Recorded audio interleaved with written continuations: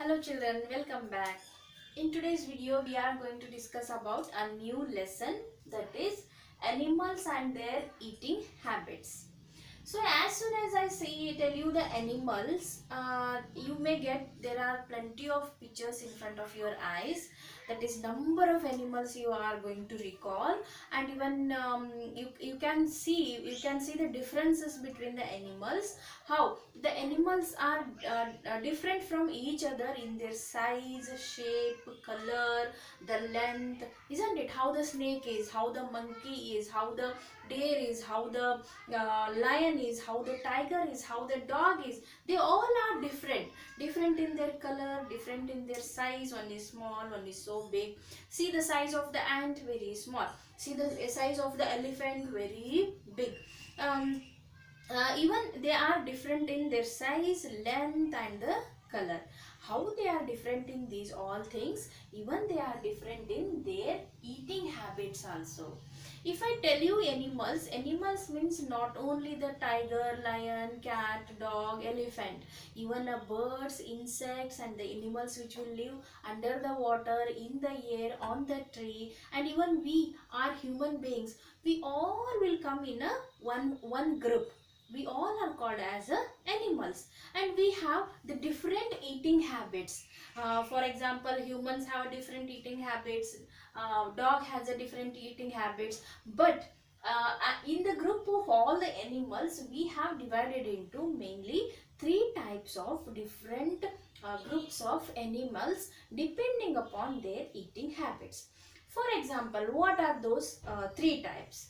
One is known as herbivorous second one is carnivorous and the third one is omnivorous.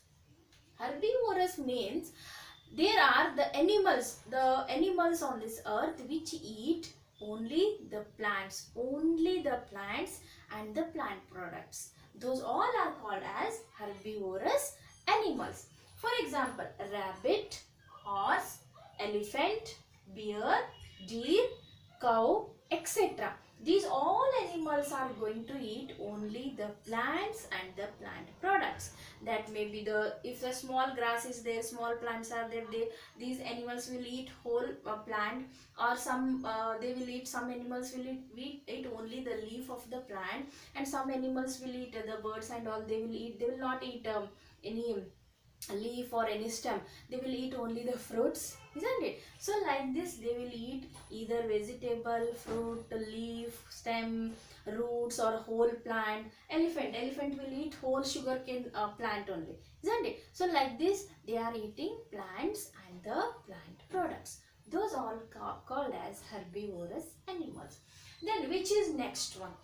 So other than eating plants there uh, there are some animals a group of animals are there those we are going to eat the flesh and the meat of the other animals. See um, tiger lion leopard and the foxes what they will do as soon as they get hungry they are going to um, going for a hunt hunting.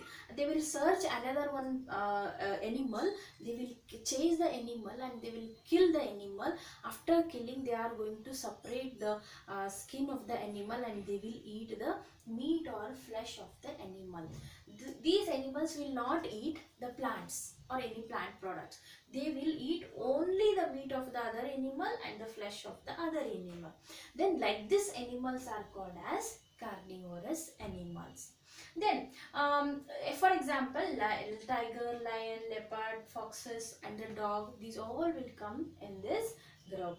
Then, uh, even for eating the plants, these rabbit have a very sharp uh, uh, teeth. So, it is going to eat the hardest part of the plant. That is, it is going to eat the carrot or it is going to eat the, some other uh, vegetable which is sweet and which is hardest part of the plant. And um, Mm, this elephant also is going to eat the sugar cane that is hardest part of the plant and it is going to eat the banana plant which is whole plant is very hardest and it will eat the whole plant only.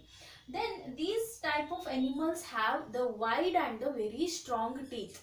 How we are having no teeth then in the same way these have the wide and the strong teeth. So that they, the teeth can help to chew, in helping in the chewing of the food and uh, mixing of the food and even grinding of the food.